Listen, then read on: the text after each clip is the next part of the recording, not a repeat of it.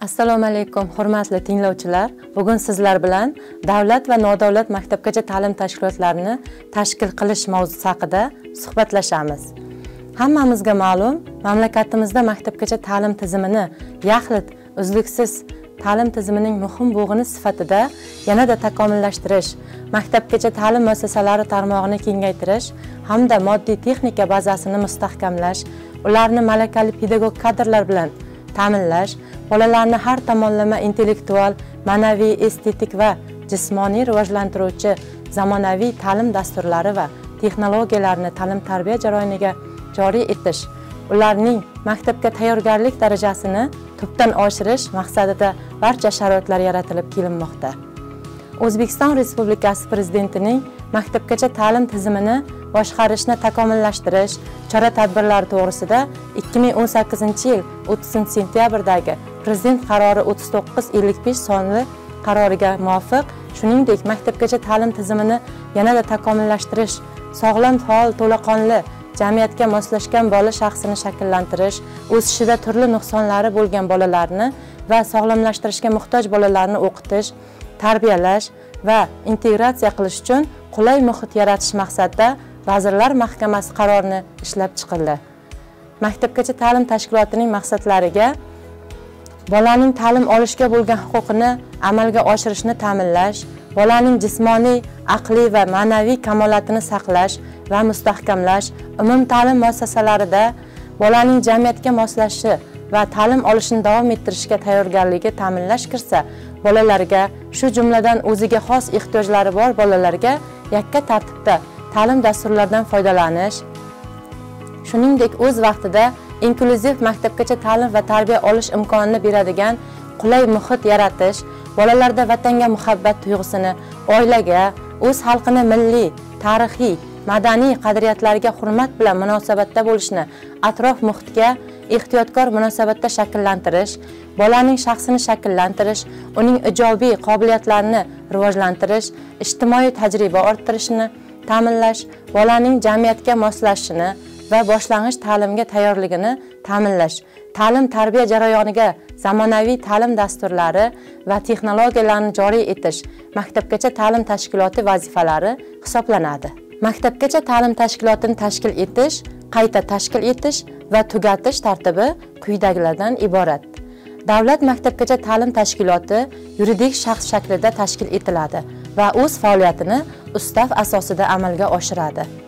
Davlat boshqaruvi organlari mahalliy davlat hokimiyati organlari va boshqa davlat tashkilotlari davlat maktabgacha ta'lim tashkilotining muassislari bo'lishi mumkin. Yuridik shaxslarda xususiy mulk huquqi subyektlari va jismoniy shaxslar nodavlat maktabgacha ta'lim tashkilotining muassislari bo'lishi mumkin. Davlat maktabgacha ta'lim tashkilotlari binolari va inshootlarni o'zbekiston respublikasi maktabgacha ta'lim vazirligi bilan kelishmasdan xususiylashtirish o'zgaga berish va qayta ixtisoslashtirish mumkin emas. Maktabgacha ta'lim tashkilotlari qonunchilikda belgilangan tartibda tashkil etiladi. Qayta tashkil etiladi va tugatiladi. Davlat maktabgacha ta'lim tashkiloti davlat tomonidan moliyalashtiriladigan va boshqariladigan hamda ilk va maktabgacha yoshdagi bolalar rivojlanishiga qo'yiladigan davlat talablariga muvofiq maktabgacha ta'lim xizmatlarini ko'rsatadigan tashkilotdir. Nodavlat maktabgacha ta'lim tashkiloti qonunchilikda belgilangan tartibda berilgan litsenziya asosida shuningdek ilk va maktabgacha yoshdagi bolalar rivojlanishiga qo'yiladigan davlat talablariga muvofiq maktabgacha ta'lim sohasida ta'lim xizmatlarini ko'rsatuvchi yuridik shaxs hisoblanadi. Bolaning qonuniy vakillari bolaning ota onalari yoki ularning o'rnini bosuvchi shaxslar hisoblanadi. Ushbu nizom ko'p tarmoqli ixtisoslashtirilgan maktabgacha ta'lim tashkilotlariga va qo'shma tipdagi maktabgacha ta'lim tashkilotlariga tatbiq etilmaydi. Maktabgacha ta'lim tashkilotlari o'z faoliyatini o'zbekiston respublikasi konstitutsiyasiga o'zbekiston respublikasining maktabgacha ta'lim va tarbiya to'g'risidagi qonuniga va o'zbekiston respublikasining boshqa qonunlariga o'zbekiston respublikasi oliy majlisi palatalari qarorlariga o'zbekiston respublikasi prezidenti farmonlari qarorlari va farmoyishlariga vazirlar mahkamasi qarorlari va farmoyishlariga ilk va maktabgacha yoshdagi bolalar rivojlanishiga qo'yiladigan davlat talablariga ushbu nizomda va o'z ustaviga muvofiq amalga oshiradi. Maktabgacha ta'lim tashkilotlari davlat tashkilotlari va nodavlat tashkilotlari bo'lishi mumkin. Davlat maktabgacha ta'lim tashkiloti yuridik shaxs hisoblanadi. O'zbekiston respublikasi davlat gerbi tasvir tasviri tushirilgan va o'z nomi davlat tilida yozilgan muhrga va shtampga mustaqil balansga budjetga va budjetdan tashqari shaxsiy g'azna hisob varaqalariga ega bo'ladi. Nodavlat maktabgacha ta'lim tashkiloti yuridik shaxs hisoblanadi. Mustaqil balansga ega bo'ladi o'z majburiyatlari bo'yicha ixtiyordagi mol mulk bilan javob beradi. O'z nomi yozilgan muhr va shtampga ega bo'ladi. Nodavlat maktabgacha ta'lim tashkilotlari faoliyatini litsenziyalash maktabgacha ta'lim sohasidagi nodavlat ta'lim xizmatlarini amalga oshirish huquqi uchun litsenziyalar yuridik shaxs davlat ro'yxatidan o'tgandan keyin beriladi. Maktabgacha ta'lim sohasida nodavlat ta'lim xizmatlarini amalga oshirish huquqi uchun litsenziya berish litsenziyaning amal qilish muddatini uzaytirish litsenziyaning amal qilishini to'xtatib turish yoki to'xtatish shuningdek uni bekor qilish va qayta rasmiylashtirish o'zbekiston respublikasi vazirlar mahkamasi huzuridagi ta'lim sifatini nazorat qilish davlat inspeksiyasi tomonidan amalga oshiriladi. O'zbekiston respublikasi vazirlar mahkamasi belgilab bergan tartibda amalga oshiriladi. Maktabgacha ta'lim tashkilotlarining huquqlari majburiyatlari va javobgarligi. Maktabgacha ta'lim tashkilotlari quyidagi huquqlarga ega bo'ladi. O'zbekiston respublikasi maktabgacha ta'lim vazirligi tomonidan tasdiqlangan maktabgacha ta'limning davlat ta'lim dasturi asosida o'z ta'lim dasturini ishlab chiqish maktabgacha ta'limning davlat ta'lim dasturida ko'rsatilgandan tashqari qo'shimcha pulli xizmat ta'lim xizmatlarini ko'rsatish ishlanmaydigan kunlarda yoki belgilangan ish soatlaridan tashqari bolaning qonuniy vakillari bilan kelishuv asosida bolalarni parvarishlash va ularga qarab turish bo'yicha xizmatlar ko'rsatishi mumkin. Bolaning qonuniy vakillari bilan hamkorlik qilish maktabgacha ta'lim tizimini rivojlantirish bo'yicha innovatsion faoliyatda qatnashish maktabgacha ta'lim tashkilotlari qonunchilikka muvofiq boshqa huquqlarga ham ega bo'lishi mumkin. Maktabgacha ta'lim tashkilotlari. Ilk va maktabgacha yoshdagi bolalar rivojlanishiga qo'yiladigan davlat talablariga muvofiq ta'lim tarbiya jarayonini amalga oshirishi maktabgacha ta'limning tegishli sifatini ta'minlash bolani tarbiyalash va o'qitish masalalari bo'yicha uning qonuniy vakillariga maslahatlar bilan yordam berishi bolalarni kamol toptirish tarbiyalash va o'qitish uchun xavfsiz shart sharoitlarni yaratishi maktabgacha ta'lim sifati ta'minlanishini nazorat qilishda vakolatli davlat organlariga ko'maklashishi shart. Maktabgacha ta'lim tashkilotlari quyidagilar uchun javob beradi. Bolaning huquqlari va qonuniy manfaatlari buzilishi. Bolalar maktabgacha ta'lim tashkilotida bo'lgan vaqtida ularning hayotini himoya qilishi va sog'ligini mustahkamlashni tashkil etish ta'lim tarbiya jarayonini tashkil etish qo'llaniladigan shakllar usullar vositalarni bolalarning yosh ruh ruhiy va fiziologik xususiyatlari qiziqishlari qobiliyatlari manfaatlari va ehtiyojlariga muvofiq kelmasligi bolalarni umum ta'lim muassasalaridagi boshlang'ich ta'limga shaxsga yo'naltirilgan yondashuvni qo'llagan holda tayyorlash sifati ta'lim dasturlari tegishli sifatda va belgilangan hajmda amalga oshirilishini ta'minlash maktabgacha ta'lim tashkilotlari faoliyati ustidan monitoring olib borish va nazorat qilish vakolatli davlat organlari tomonidan qonunchilikka muvofiq amalga oshiriladi. O'quv jarayonidan siyosiy maqsadlarda yoki ta'lim olayotgan bolalarni o'zbekiston respublikasi konstitutsiyasi va qonunchilikka zid harakatlarni sodir etishga undash uchun foydalanish taqiqlanadi. Pedagog xodimlar maktabgacha ta'lim tashkilotlarida ta'lim tarbiya jarayonini tashkil etish uchun javob beradilar. Maktabgacha ta'lim tashkiloti faoliyatini tashkil etish maktabgacha ta'lim tashkiloti maktabgacha ta'limga qo'yiladigan davlat talablariga muvofiq bolalarni tarbiyalashni o'qitishni ularga qarab turishni ularni parvarishlashni va sog'lomlashtirishni ta'minlaydi. Maktabgacha ta'lim tashkilotidagi ta'limning mazmun mohiyati o'zbekiston respublikasi maktabgacha ta'lim vazirligi tomonidan tasdiqlangan. Maktabgacha ta'lim davlat ta'lim dasturi asosida ishlab chiqilgan ta'lim dasturida belgilab beriladi. Maktabgacha ta'lim tashkilotidagi ta'lim tarbiya jarayoni mashg'ulotlarning yillik kalendar mavzuli rejalari va jadvali bilan tartibga solinadi. Maktabgacha ta'lim tashkiloti maktabgacha ta'lim va tarbiya to'g'risidagi o'zbekiston respublikasi qonuniga ilk va maktabgacha yoshdagi bolalar rivojlanishiga qo'yiladigan davlat talablariga va boshqa qonunchilikka muvofiq ta'lim berish va tarbiyalash shakllari vositalari va usullarini tanlaydi. Rivojlanishida jismoniy yoki psixik nuqsonlari bo'lgan tarbiyalanuvchilar bilan ishlash texnologiyalari usullari va shakllari ularning psixofizik e, rivojlanish xususiyatlari o'ziga xos imkoniyatlari va sog'lig'i holatidan kelib e, chiqqan holda pedagog va tibbiy xodimlar tomonidan belgilanadi hamda maktabgacha ta'lim tashkilotining pedagog kengashi bilan kelishadi. Maktabgacha ta'lim tashkilotida ta'lim tarbiya jarayonini tashkil etishning asosiy shakli o'yin hisoblanadi. Har bir yosh guruhdagi mashg'ulotlar o'yinlarning har yilgi soni davomi davom etadigan davri va izchilligi maktabgacha ta'lim tashkilotining o'quv rejasida belgilanadi. Maktabgacha ta'lim tashkilotlarida rivojlanishida jismoniy yoki psixik nuqsonlari bo'lgan bolalar va rivojlanishida nuqsonlari bo'lmagan bolalarning bir tashkilotdan birgalikda o'qishi va tarbiyalanishiga qaratilgan inklyuziv ta guruhlar tashkil etilishi mumkin. Bolalarning maktabgacha ta'lim tashkilotlarida bo'lish vaqtiga qarab u yerdagi guruhlar quyidagicha bo'lishi mumkin. Bolalar qisqa vaqt bo'ladigan guruhlar kuniga 3-4 soatni tashkil etadi. To'liq kunli guruhlar bir kunga 9 9 soatdan 10 yarim soatgacha va 12 soatgacha bo'lishi mumkin.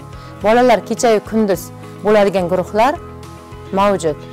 Maktabgacha ta'lim tashkilotining bolalar kuniga 3-4 soat bo'ladigan guruhlarida kunduzgi uyqu tashkil etilmaydi va bir martalik ovqatlantirish tashkil etilishi mumkin. Bolalar kuniga 9 10 yarim soat bo'ladigan guruhlarda 3 martalik ovqatlantirish tashkil etilishi va kunduzgi uyqu uchun sharoitlar yaratilgan bo'lishi kerak. Bolalar 12 soat bo'ladigan guruhlarda 4 martalik ovqatlantirish tashkil etilishi va kunduzgi uyqu uchun barcha sharoitlar yaratilgan bo'lishi kerak. Maktabgacha ta'lim tashkilotlarining bolalar kechayu kunduz bo'ladigan guruhlarida kunduzgi va tungi uyqu hamda 5 martalik ovqatlantirish tashkil etilishi uchun sharoitlar yaratilgan bo'lishi kerak. 3 yoshdan 7 yoshgacha bo'lgan bolalar uzluksiz uxlamaydigan muddatning tavsiya etiladigan maksimal davomiyligi besh yarim soatdan 6 soatni tashkil etadi. Maktabgacha ta'lim tashkilotining ishlash tartibi va bolalarning unda bo'lish vaqti uning ustavi va muassisning qarori bilan belgilanadi. Maktabgacha ta'lim tashkiloti va bolaning qonuniy vakillari o'rtasidagi o'zaro munosabatlar bola maktabgacha ta'lim tashkilotiga o'tkazilganda tuziladigan shartnoma bilan tartibga solinadi. Shartnomada bola maktabgacha ta'lim tashkilotiga boradigan rejim necha marta ovqatlanish va boshqa shartlar ko'rsatiladi. Maktabgacha ta'lim tashkilotidagi o'quv yili joriy yilning 2 sentyabrdan keyingi yilning 31 maygacha bo'lgan davrni yozgi sog'lomlashtirish davri joriy yilning 1 iyundan 31 avgustgacha bo'lgan davrni o'z ichiga oladi. Maktabgacha ta'lim tashkilotida bolalarga ta'lim berish va tarbiyalash davlat tili to'g'risidagi o'zbekiston respublikasi qonuniga muvofiq davlat tilida va boshqa tillarda olib boriladi. Maktabgacha ta'lim tashkilotiga bolalarni qabul qilish va undan chiqarish. Bola bolani maktabgacha ta'lim tashkilotlariga doimiy yoki vaqtincha qatnashga qabul qilish ushbu tashkilotda bo'sh joylar bo'lsa kalendar yil davomida quyidagilar asosida amalga oshiriladi. Bola qonuniy vakilning arizasi o'zbekiston respublikasi vazirlar mahkamasi tomonidan belgilangan tartibda vakolatli organ bergan yo'llanma ya'ni davlat maktabgacha ta'lim tashkiloti uchun bola sog'ligi holat to'g'risidagi tibbiy ma'lumotnoma maktabgacha ta'lim tashkilotidagi inklyuziv guruhlarga qabul qilish uchun rivojlanishida jismoniy yoki psixik nuqsonlari bo'lgan bolalar qo'shimcha ravishda tibbiy psixologik pedagogik komissiyaning belgilangan tartibda berilgan xulosasini taqdim etadi. Davlat maktabgacha ta'lim tashkilotlariga 3 yoshdan 7 yoshgacha bo'lgan bolalar qabul qilinadi. Joriy o'quv yili davomida 7 yoshga to'lgan tarbiyalanuvchilar keyingi o'quv yilining boshlanishiga qadar tashkilotda qoladi. Bola davlat maktabgacha ta'lim tashkilotiga o'zbekiston respublikasi vazirlar mahkamasi tomonidan belgilangan tartibda muvofiq qabul qilinadi. Bola nodavlat maktabgacha ta'lim tashkilotiga nodavlat maktabgacha ta'lim tashkiloti ustaviga muvofiq qabul qilinadi va chiqariladi. Bolani davlat maktabgacha ta'lim tashkilotiga qabul qilish maktabgacha ta'lim tashkiloti va bolaning qonuniy vakili o'rtasida tuziladigan shartnoma hamda maktabgacha ta'lim tashkiloti rahbarining buyrug'i bilan rasmiylashtiriladi.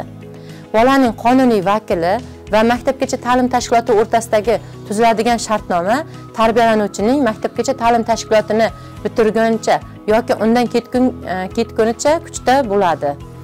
Rivojlanishida jismoniy yoki psixik nuqsonlari bo'lgan tarbiyalanuvchilar bolani qonuniy vakillarning roziligi bilan zarurat bo'lganda yil davomida tibbiy psixologik pedagog komissiyaga yoxud maslahatga olib borish uchun zarur ixtisoslashgan mutaxassislarga yuborilishi mumkin. Bolaning qonuniy vakili bilan tuzilgan shartnoma bolani nodavlat maktabgacha ta'lim tashkilotiga qabul qilish uchun asos hisoblanadi. Maktabgacha ta'lim tashkiloti guruhlarini to'ldirish guruh maktabgacha ta'lim tashkilotining tarkibini tarkibi birligi hisoblanadi. Maktabgacha ta'lim tashkilotidagi guruhlar har bir xil yoshdagi ham turli yoshdagi bolalar bilan to'ldirilishi mumkin. Maktabgacha ta'lim tashkilotidagi inklyuziv guruhlar yosh prinsipi bo'yicha to'ldiriladi. Maktabgacha ta'lim tashkiloti tarbiyalanuvchilarni to'ldirish va bir guruhdan ikkinchi guruhga o'tkazish har yili o'quv yili boshlanishidan oldin amalga oshiriladi. Davlat maktabgacha ta'lim tashkilotlarida guruhlar quyidagi miqdorda to'ldiriladi. 3 yoshdan 7 yoshgacha bo'lgan bolalar uchun mo'ljallangan guruhlarda ko'pi bilan o'ttiz nafar bola bolalar qisqa vaqt bo'ladigan guruhlarda ko'pi bilan o'ttiz nafar bola turli yoshdagi guruhlarda ko'pi bilan yigirma besh nafar bola bolalar kechayu kunduz bo'ladigan guruhlarda ko'pi bilan 10 nafar bola bo'lishi kerak. Agar davlat maktabgacha ta'lim tashkiloti joylashgan joyda davlat maktabgacha ta'lim tashkilotiga borishni xohlovchi maktabgacha yoshdagi bolalar soni yigirma nafar boladan kam bo'lsa va bu joyda boshqa davlat maktabgacha ta'lim tashkiloti bo'lmasa o'zbekiston respublikasi maktabgacha ta'lim vazirligi bilan kelishgan holda kam sonli bolalardan iborat guruhlarni tashkil etishga yo'l qo'yiladi. Uch yoshdan katta bo'lgan bolalar uchun mo'ljallangan inklyuziv guruhlar rivojlanishida jismoniy yoki psixik nuqsonlari bo'lgan bolalarning toifasiga qarab to'ldiriladi.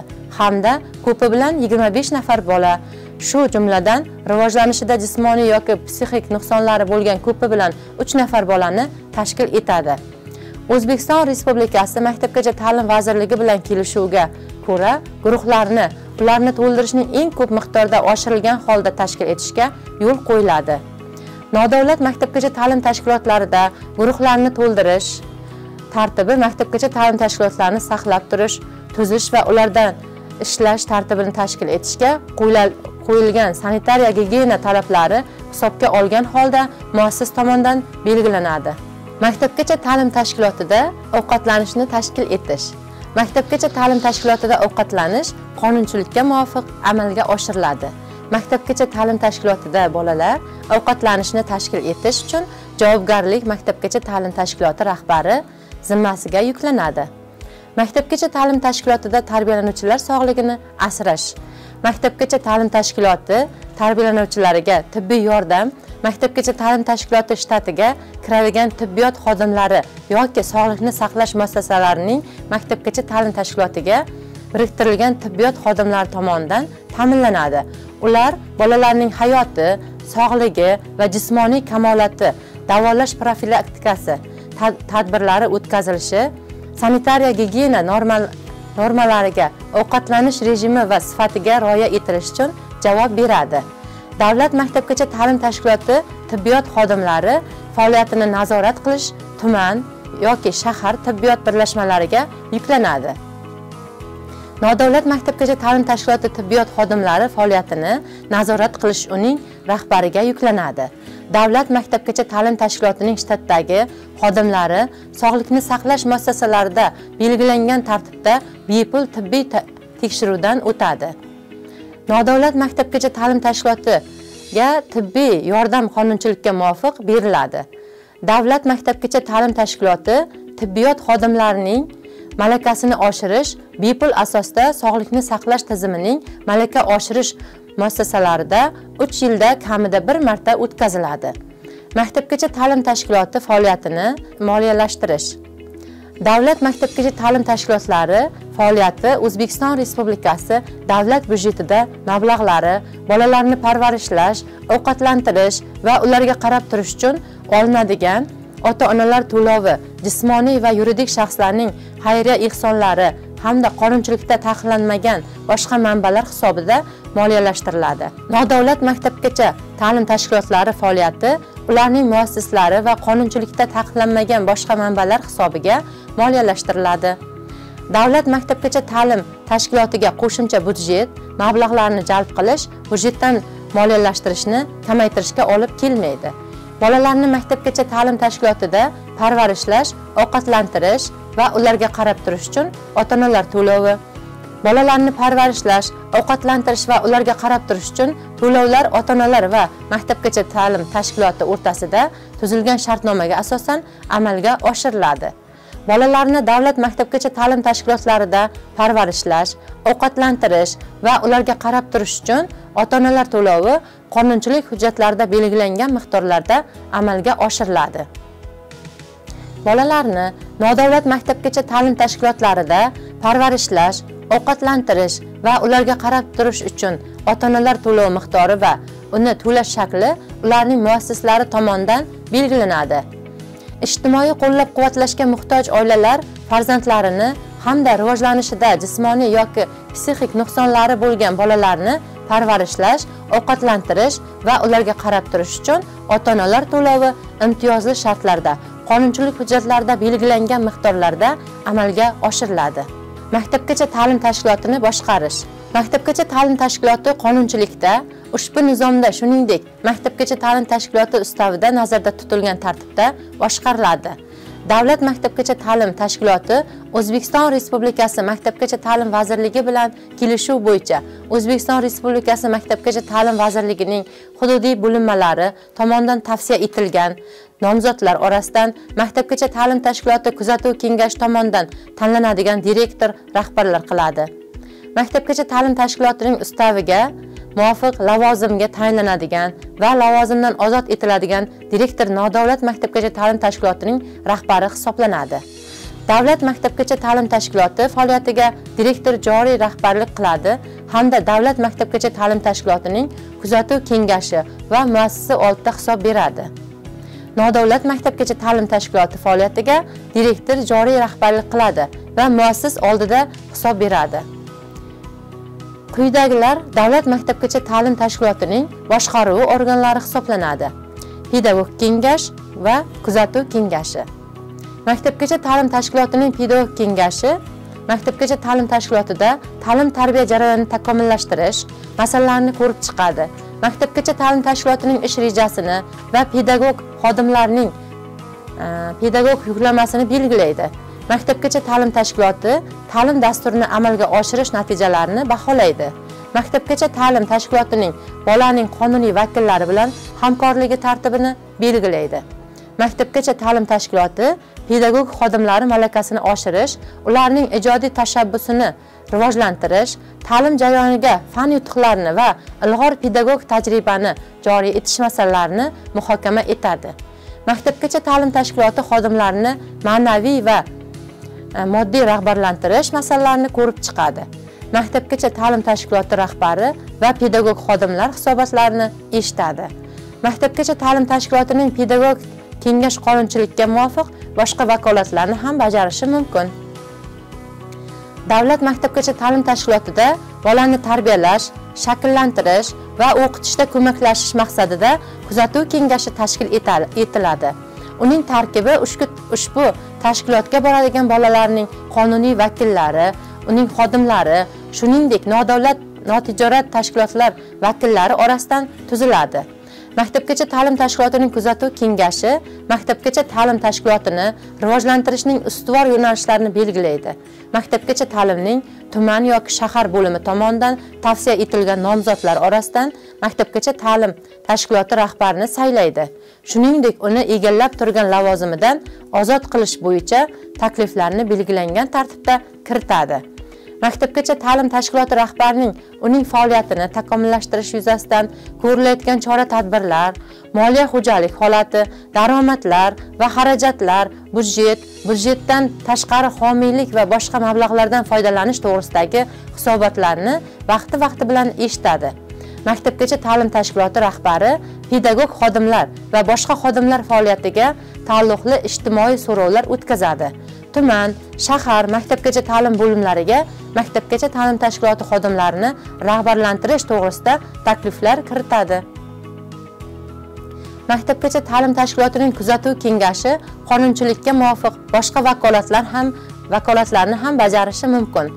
Maktabgacha ta'lim tashkiloti kuzatuv kengashining faoliyatini tashkil etish tartibi o'zbekiston respublikasi maktabgacha ta'lim vazirligi tomonidan belgilanadi. Maktabgacha ta'lim tashkilotlari rahbarlarining huquqlari va majburiyatlari qonunchilikda ustavda ustavda boshqa normativ huquqiy hujjatlarda shuningdek mehnat shartnomasida belgilanadi. Davlat maktabgacha ta'lim tashkiloti rahbarining lavozimiga qo'yiladigan malaka talablari o'zbekiston respublikasi maktabgacha ta'lim vazirligi tomonidan belgilanadi. Maktabgacha ta'lim tashkilotlarida qisqa muddatli guruhlar to'g'risida ozgina gapirib o'tamiz. Qisqa muddatli guruhlar faoliyati maktabgacha ta'lim tashkilotlari ustavi bilan tartibga solinadi.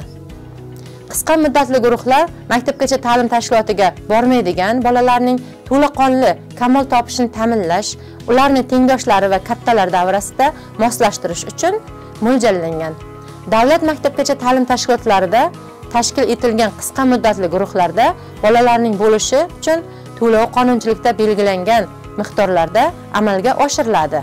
Nodavlat maktabgacha ta'lim tashkilotlarida tashkil etilgan qisqa muddatli guruhlarda bolalarning bo'lishi uchun to'lov muassis tomonidan belgilanadigan narxlar va tariflar bo'yicha belgilanadi. Bundan qonunchilikda belgilangan hollar mustasno. Qisqa muddatli guruhlar maqsadlari va vazifalari. Qisqa muddatli guruhlar maqsadlari bolalarning maktabgacha ta'limga to'liq jalb etilishini va maktabgacha ta'lim tashkilotlariga bormaydigan bolalar maktabgacha ta'lim olishda teng imkoniyatlardan foydalanishini ta'minlashdan iborat. Qisqa muddatli guruhlarning asosiy vazifalari quyidagilardan iborat. Bolaning jismoniy aqliy va ma'naviy kamol topishini saqlash va mustahkamlash bolaning shaxsini shakllantirish uning ijodiy qobiliyatlarini rivojlantirish bolaning o'ziga xos xususiyatlarini hisobga olib uning ijtimoiy tajriba orttirishini ta'minlash bolaning yosh va o'ziga xos imkoniyatlari qobiliyatlari va ehtiyojlariga qarab har tomonlama kamol topishini ta'minlash bolani shakllantirishda tarbiyalashda va o'qitishda oilaga har tomonlama yordam berish bolalarning bilim orttirishini ijtimoiy shaxsiy badiiy estetik va jismoniy kamol topishini ta'minlash qisqa muddatli guruhlar tashkil etish ularga qabul qilish va ularni to'ldirish tartibi haqida aytib o'tamiz. Qisqa muddatli guruhlar maktabgacha ta'lim tashkilotlarida foydalanilmaydigan xonalar bo'lganda tashkil etiladi. Nodavlat maktabgacha ta'lim tashkilotlaridagi qisqa muddatlar guruhlarga bolalar ularning ota onalari yoki ularning o'rnini bosuvchi shaxslarni shaxslarning arizasi va bola sog'ligi holati to'g'risidagi tibbiy xulosa asosida qabul qilinadi. Davlat maktabgacha ta'lim tashkilotlaridagi qisqa muddatli guruhlarga bolalar quyidagi asosda qabul qilinadi. Bolaning qonuniy vakili arizasi o'zbekiston respublikasi vazirlar mahkamasi tomonidan belgilangan tartibda vakolatli organ bergan yo'llanma bola sog'ligi holati to'g'risidagi tibbiy ma'lumotnoma davlat maktabgacha ta'lim tashkilotlaridagi qisqa muddatli guruhlar o'z faoliyatini davlat maktabgacha ta'lim tashkiloti rahbarining buyrug'i asosida amalga oshiriladi. E'tiboringiz uchun rahmat.